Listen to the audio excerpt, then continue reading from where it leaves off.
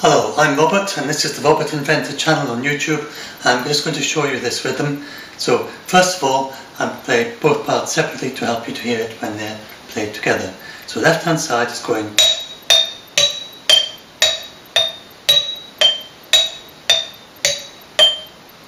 and I'm playing it on jam jars. It's a kind of found music, you know, playing with bits and pieces of things you find lying around.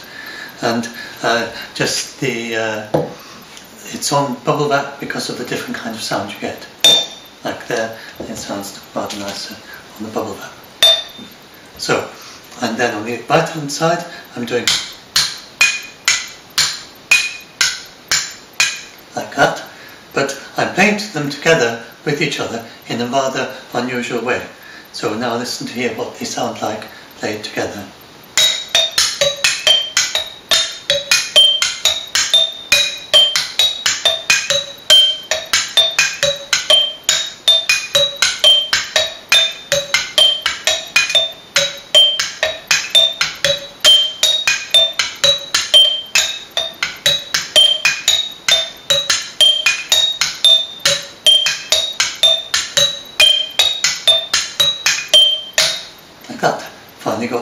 Where I started again. So um, the rhythm I was playing there, I was playing uh, five beats with the left hand side to four beats on the right hand side, but on the left hand side, my five beats, I was doing four sounds for the five beats. So the five beats, in, so it's basically it's a 5-4 polyrhythm, but with only four sounds on the left hand side cycling around. So it's one, two, three, four, five, one, two, three, four, five.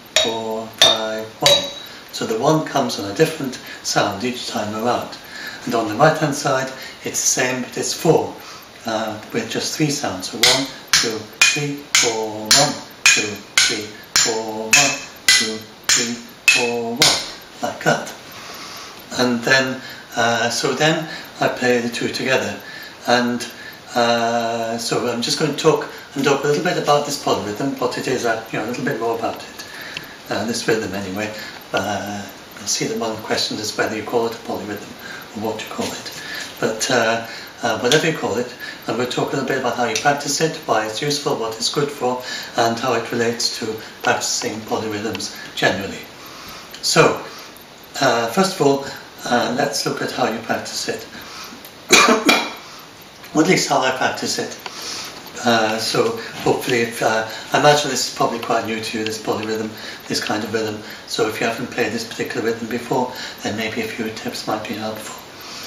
So, so what I, the way I practice it is I start off with a 5-4 polyrhythm, just play just normal 5-4 polyrhythm. And I'm assuming you can do that uh, if you if you don't have some approximation to a 5-4 polyrhythm to get started. Well, I'm going to talk about that uh, towards the end of this. So to do the 5, you start with your 5-4 polyrhythm and you just, that's bass. Now, there's a lot of uh, misunderstanding and confusion about these rhythms as to what people are talking about. So what I'm talking about here is I'm talking about by polyrhythm, I mean the uh, same measure in both sides. So I do one, two, three, four, five, one, and the same beat you do a little bit slower tempo obviously. One, two, three, four, one. And then when the two come together, the ones are together on every single measure. So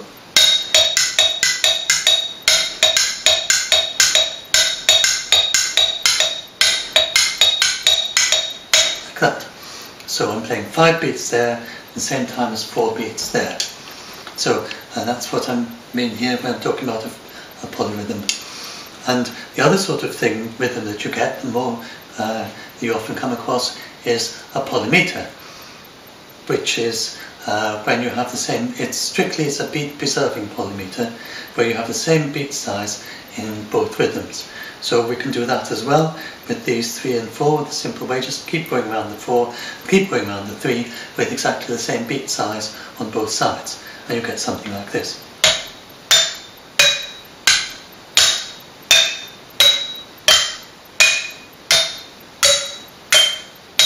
So I'm doing threes on the right and fours on the left and the same beat size, measures are different sizes on the left and on the right, So it takes a while, they don't come together in the same place, and eventually they keep on going long enough, they come together and we come back in the same place where we started. So this is a 3-4, this is 4-4, the same size quarter beat on each side. And that is a polymeter, simple polymeter. And beat preserving polymeter. Now, the, uh, the confusion is that in popularly, both of those are often called polyrhythms. And then when you read scholarly papers about it, then both of them are called polymeters. So scholars tend to call everything polymeters, at least the ones I've read. And the polyrhythm and the um, in popular talk tends to call everything polyrhythms and lump them all together. But uh, the scholars would say that it's a polymeter preserving the beats is what the popularly sometimes called polymeters, and the polyrhythm preserving a polymeter preserving the measures. So both sides play the same measure. That's what is popular terms is often called a polyrhythm. Uh, it's quite a useful distinction, except when you come to a rhythm like we've just, I've just played, in which uh, neither of those is preserved. And not if you think about it as the four sounds. And so it's got both features of a polyrhythm and, and features of a polymeter. And I call it a mind-boggling polyrhythm, but that's just, uh, you know, just for fun. I don't, I don't know if it's got a proper name at all.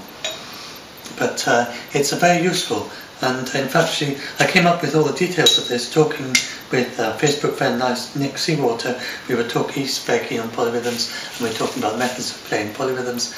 And uh, I already had the possibility of playing these kinds of rhythms, but came up with different ways of presenting them. You know, it was already in Bounce metronome, but came up with different ways of presenting them with them and practice them with them that help you with your ordinary polyrhythms. So, uh, so anyway the uh,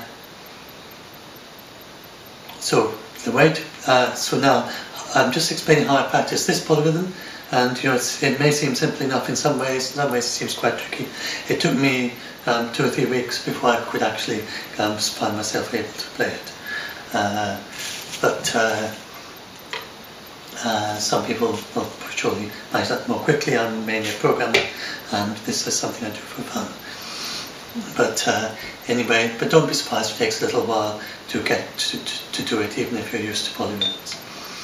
So, uh, so now the way that you I practice it anyway is to practice one hand at a time. So I'm assuming you can play a 4-5 polyrhythm. So you play 5 there, 4 there, and then so you just start playing. Wait a minute.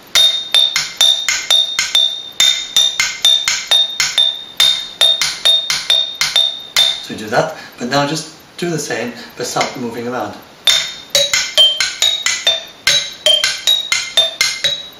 And then notice how the measure starts in a different place each time we go around. And then you do the same on the right hand side, just the right hand side.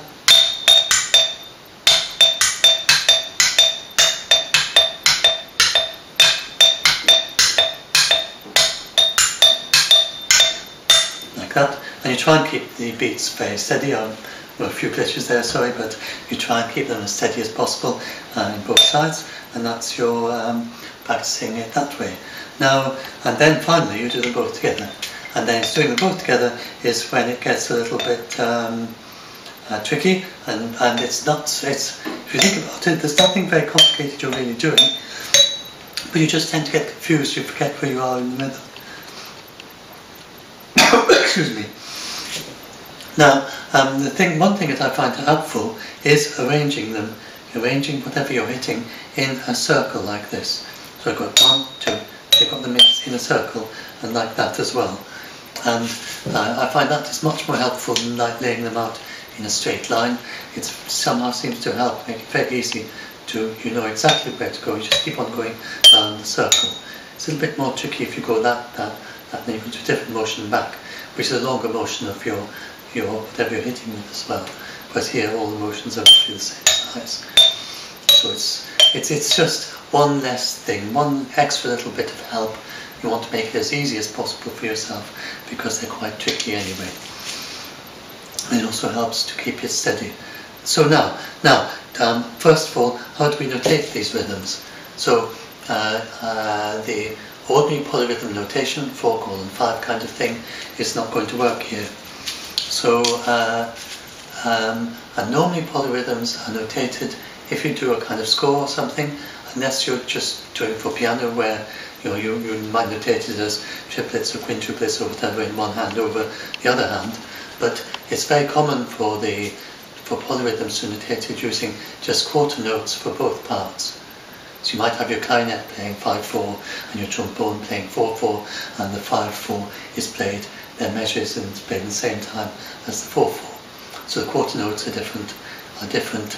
Um, it's like it's played at a slightly faster tempo. So the quarter notes are played at different speeds. So that's one way of notating polyrhythms, which is very common. But uh, the uh, uh, Brian he came up with another way, another notation well, he, he came uh, uh, for, for notating things where you have several rhythms going on at once. And what he uses is fifth notes and seventh notes and things like that, which you normally get, don't get in music at all. And so the idea there then is that uh, that obviously a fourth note, then four fourth notes make a whole tone. Well, five fifth notes make a whole tone. Then you can use the same size of whole tone for both parts. So then the uh, 5 over 4 would be written as 5 over 5 because the clarinet in that case was playing 5 fifth notes instead of five fourth notes. So that makes it much easier to notate this sort of thing. So, so because now what we can say is we're playing 4 over 5 in the left hand.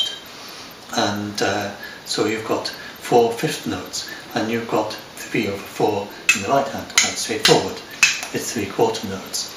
And the entire measure on the right hand is three quarters of a whole tone. The entire measure on the left hand is four fifths of a whole tone. So the measures are different in size. The beats are also different in size. So it's combining characteristics of both uh, polyrhythm and of a beat preserving polymeter. And a music scholar would just call this a polymeter, but what else you would call it, I'm not quite sure, because nothing is being preserved in the two sides in any obvious way. Um, so, so it's, uh, but just expect just to notate it using the Brian Ferneyhough notation. So it's four, five, colon, three, three, four. Four, five, played simultaneously with three, four. And that's what we're playing. Now, uh, so now, yeah, I talked about how to practice it and how to notate it. So now let's think about what else I want to talk about. So there's also uh, talk about well, why you do it. Motivation. So the motivation for doing this is all to do with um, the thing is that there's a great tendency when playing polyrhythms for one of the two rhythms to be primary and the other one to be secondary and so not really a full independent rhythm in its own right. When you're playing, I mean, it's not intended, but as a performer, then that's very likely to happen.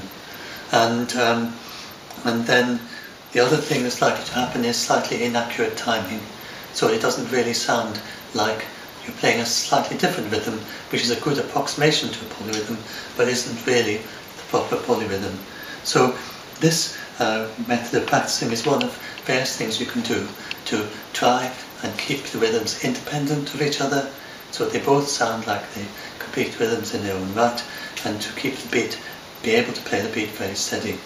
It's not that the beat has to be steady, but you have to feel that they are uh, two separate rhythms going on, not just one rhythm with some other beats sort of played on top of it at sort of miscellaneous positions in the measure. So uh, so now the ways you practice polyrhythms, there's uh, two ways basically of doing it. There's the subdividing method and then, well there's three ways and I'll come to them. But the subdividing is what most people are most familiar with. So the subdividing method, I'll show this with 3, 2. So uh, you would count 1, 2, 3 with that hand and with this hand you come in on the hand between the 2 and the 3. So you go one, two, and three. One, two, and three. One, two, and three. Dead easy to do. Now, uh, but the problem is that with, if you're doing that, you're, this is the primary, this is the secondary, and you may well feel that this is secondary, And uh, it's especially more noticeable to listener for more complex rhythms, but yourself as a performer, you may feel that this is the primary rhythm, especially if there's a melodic line or something, then that this or some some something a little bit more going on than just that, then you might feel that that is the secondary rhythm. And so to help with that, you can practice it both ways. So then you can practice this with the two beats here, and this you count as one hand up. So you go one and uh, two and uh, three. Sorry, one. One and uh, two and one and two and one. So then that is again the 3-2. Now this is the primary and this is a little bit secondary and you may have felt that the 3 on this side was feeling sub somewhat subservient to the 2 when you're listening to that. So, uh, so that's the uh, two ways of playing 3-2, but ideally you want both rhythms to have the same level of importance, the same kind of, in, they're independent of each other, they're both uh, really rhythms in their own right, and neither of them is the primary one. They're both going on, each doing its own thing, and but also meshing together as well. So that's, uh, and that is to say, you know, polyrhythms maybe don't have to be like that, but I'm assuming that you're wanting your polyrhythms to be like that. So, so this is all to do with if you want your rhythms to be very independent of each other. So, uh, so now the next, the other way of practicing, so with the subdivisions method, you try practicing one way, then you practice the other. And then, quite a nice thing to do once you've got used to them, is to count both of them as the whole numbers instead of subdivisions. So then you would go 1, 2, 2, 3, 1, 2, 2, 3. And then you can maybe go 1, 2, 2, 3, 1, 2, 2. So the higher pitched ones were 2 and lower pitched ones were the 3. So, uh, so that way you can count both rhythms simultaneously except of course unless you're able to sing two notes at once. You know, you, you can't sing two ones simultaneously, but you know what I mean. So, uh, so, so that's the, uh, that, that can help you to give equal emphasis to the, give the equal importance to the two rhythms. Uh, but even so, the subdivisions method is quite, it's quite hard to use at speed. And it's like a scaffolding, and it's a little bit if you rely on it too much, then it can get a little bit difficult to remove the scaffolding once you once once you uh, once you so all, all these methods have their advantages and their disadvantages. But uh, but anyway, so that's the subdivisions method, and it's what most people way most people practice polyrhythms probably. The uh, so then the other method is another method which isn't much talked about is well I mean actually come to think of it uh, I, am not sure uh, I've come across it anywhere, but uh, but it's, it's kind of obvious in a way once you think about it in a particular way. I'll have to do a bit of bibliography to see if people talk about rhythms like this. But the, it's the uh, it's the beat drifting approach. So you have a steady click there, and then you have the uh, the your taps there of this polyrhythm that you're playing with it, which is going to drift through the click. And this approach is actually, the subdivisions work best with very simple, very low numbers, like 2, 3, 3, 4, and 4, 5 is all right because you've got quintuplets. If you're used to playing quintuplets, then you may well find that 4, 5 you can also do using subdivisions. Maybe you've got to do it both ways, so one of the ways you will end up with quintuplets.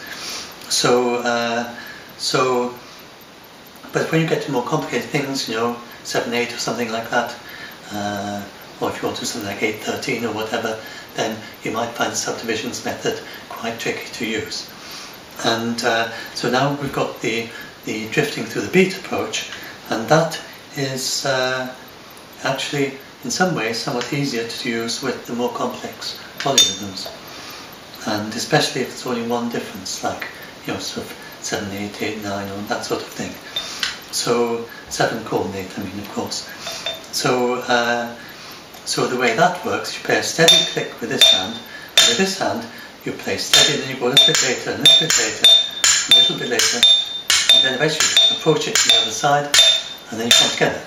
So you're gradually drifting through the beat with that hand while playing a steady beat with that hand. You're drifting later and later.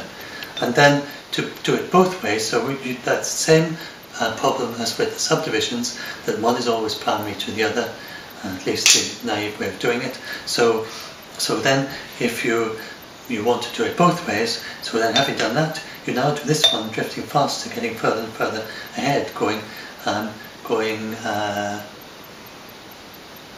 uh, getting further and further ahead of the beat as you go through. So play a steady click on this side, get closer, further and further with this one. So and eventually you hit it again from the other side. So, so that's the drifting through the beat approach, and you just have a base. You get first play so you're very comfortable playing anywhere in the beat. So this is a thing you can practice first, then get used to drifting through the beat, and then drifting through the beat in a steady way, and you will be playing polyrhythms at that stage. The only thing is that you're, you're not quite sure what polyrhythm it is that you're playing until you hit the click. So you have to get used to how fast you have to drift through the polyrhythm in order to get to the click at the right point. And with some of the polyrhythms, you need to bounce, uh, jump over the next beat. So you know something like five seven, you know, need to go over it. You don't want to hit it the first time around because there's two beats difference between the two numbers. So you would you would you would drift through the beat and then instead of hitting it next time around, you would jump it, you play the next beat after it, and then go around and eventually it, the next one after that. Uh, uh, if, if what I'm saying doesn't make too much sense, don't worry, because if you try it out, then that's what you will find will happen. The easiest ones to get started with anyway are things like 4, 5, 5, 6, where they just differ by 1. So the, so the drifting through the beat has the advantage that you aren't thinking in terms of lots of subdivisions, it's rather simpler, so, uh, and it's kind of may be easier to really relax into it. But it has disadvantages as well, such as it's easy to sort of find yourself drifting into the wrong polyrhythm. So if you're playing four, five, and then you change the drift a little bit too much, you find you're playing five, six, instead of when you're meant to be playing four, five, which is a thing that would never happen with subdivisions method. And and but the nice thing about the drifting again, though, is that once you get used to it, you can play loads of different polyrhythms just by varying the amount of drift, which you can't do with the subdivisions approach because you just have to work out subdivisions new for each polyrhythm that you try. Now, the, uh, the next thing, the other way, there's yet a third way of practicing polyrhythms, which in some ways is best of all, which is to just think of the, of the, of the amount of time in the measure, and so you've got your measure, and as a musician you're used to be able to divide any interval into four and probably into five and other numbers. Like playing quintuplet. So you just got your measure and you divide it into five with one hand, like that, divide four with that hand, right, and then you play both together and try and play both together. Now I'm not, very good at this, so something like that. So, uh, so, but you, you just try playing, just play a four and just play a five, and you come together at the end of it, and you just will, and then if you, if you can do that, then any any any anything that you can play as just any measure you can if you can play 7-4 and if you can play 5-4 then you can play a 7 chord 5 polyrhythm you can just play 7-4 there 5-4 there and make sure that both measures are the same size. And there you are you've got it.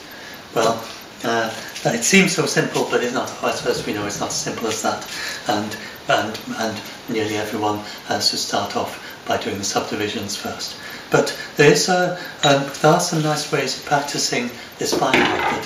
So one, one way of doing it, so getting used to just playing you know, one thing and the other and getting the measures to fit together, I find quite nice is uh, it's difficult doing with two hands, but doing with your hands and your feet. And so when I'm going for a walk, you've got a steady beat. You just walk in a very steady way with your feet, and then you, you if you, you know, if you're somewhere where there's nobody much around, or if you don't mind looking a little bit silly, but you, you walk along. Now you want to have odd numbers on both, with, uh, with, with the feet especially, because otherwise you will tend to get into an uneven rhythm because it's always the left uh, foot on the measure beat.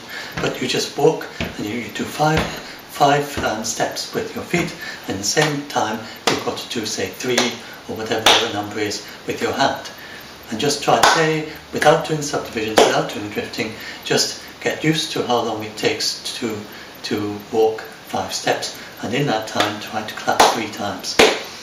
And if you do that and then try clapping another time before, you know, seven or whatever. So if you do that, then that is like the third way of practicing where you just simply play your seven beats in the same time as the four beats without worrying about the subdivisions, without worrying about the drifting. It's just, it is going to work out so long as you do that. And that in some ways is the best if you want to have the independence of the rhythms, but it's just difficult to do. Now, the, the reason for doing this exercise here, one of the reasons why this particular one is particularly good is because it helps to deal with these issues of irregular timing in the two hands. So, uh, so if you if you think of this as being fundamental, then this is tend to be some kind of rhythm played over that. Then the, there's a great tendency to play not the actual proper polyrhythm, but something as a kind of an approximation to it, and and uh, uh, uh, so, but the, if you do this, then the sounds, these four sounds are coming in different places in this rhythm and different every time you go around, and different and also different places in the five. So, so there's an awful lot of kind of it's mixing everything up, and it's making much more less likely that you'll kind of settle into bad habits that aren't quite right because you're just mixing it up by moving the sounds around in a way that you you don't really expect and it's kind of different from the underlying polyrhythm. And so anyway, I think those were the main things I wanted to talk about. This, I think this uh, video is probably going to run out quite quickly. I've got a camera that's got a half hour limit, so I think we're going to have to stop, stop quite soon. Uh, so uh, so anyway, that's the main things that I was going to talk about. And you can use this with bounce metronome. And when you use it with bounce metronome, try following the visual bounces because they help with relaxation. So your hand follows the visual bounces. And also, uh, with practicing polyrhythms especially, it's very important to be precise so that your clicks, if you're following a metronome, that your clicks precisely merge with the metronome clicks. So I've talked about that separately. How you try playing ahead and behind the beat, drifting through the beat, and then you get used to the position that's between the head and behind, and you click. Then you click to merge with the metronome click, rather than uh, listening out for the metronome click. Listen out for the merge, rather than for the metronome as a separate thing. So uh, that, uh, if you haven't seen that talk, then you know what I'm saying that just now might be a bit mysterious, but I'll add a link to this video. It's uh, the vanishing click. So, uh, so that helps you with relaxation, helps with precision. Precision is very important with polyrhythms because there are lots of rhythms that are almost the same as the polyrhythm that you're trying to play and just differ by a few milliseconds here and there. And you, it's very easy to snap into one of those wrong rhythms instead of playing the rhythm that you're trying to, trying to play. So if you are using, if you practice the polyrhythm with the metronome, do listen very carefully to the merge of your sounds with the click of the metronome, follow the bounces, the visual bounces, and all that will help with playing it precisely in both hands. And then if you do that properly and start off very slow and then keep the precision all the way through, then uh, the uh,